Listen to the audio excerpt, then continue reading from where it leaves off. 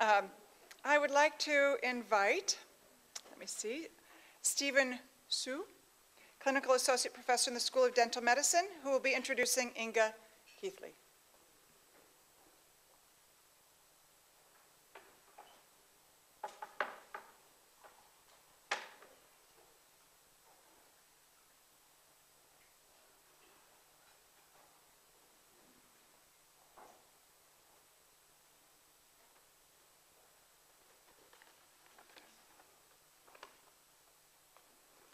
Uh, Inga Keithly has been actively involved in the public service over four years at the Tufts Dental School.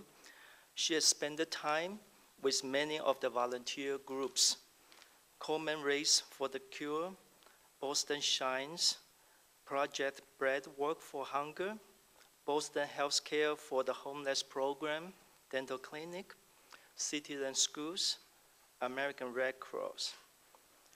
Inga worked closely with the Smile Squad and her Schweitzer Fellows to host a successful Tufts booth at this year's Oak Street Fair.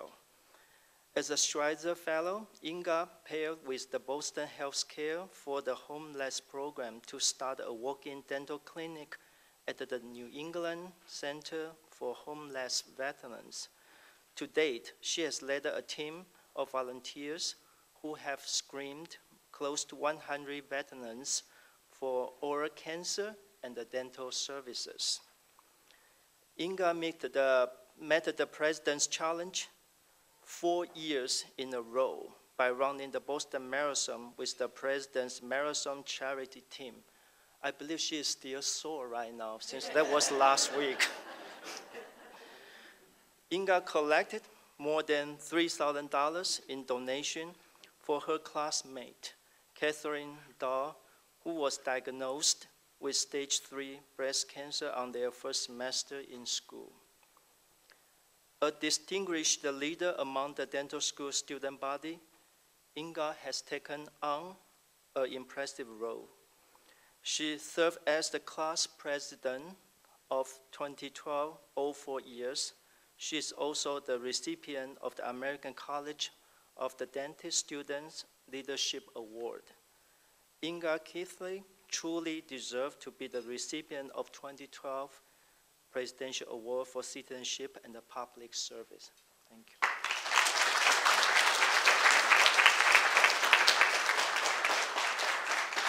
Hi, I'm Chuck Rankin. I'm a director of pre-doctoral endodontics at the School of Dental Medicine. I'm also the faculty advisor to our military dental students who have military scholarships who uh, you know, be entering the military upon graduation. Uh, Inga is the recipient of a Navy scholarship. She'll be entering the Navy next year upon her graduation. Uh, Inga came to us from Hawaii. She taught English for seven years in a high school before deciding to come to dental school. So she's a very mature, experienced woman who sets a good example for our younger, our younger dental students. She's been a great mentor. As soon as she got to our school, she was elected the class president, of course, and uh, you know, as president of the, uh, of the class, uh, she realized that she's learning things, becoming a leader. Being, being a leader means you are the representative of many, many individuals, which means you have to be able to communicate with those individuals in order to move that group you know, sort of forward. And uh, I think she's learned that well. I think as a U.S. Navy dental officer, she'll uh, represent you know, our country, uh, our school, and herself with pride and with distinction and with honor.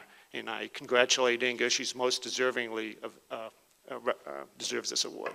Great. Thank you so much. Thank you, Inga.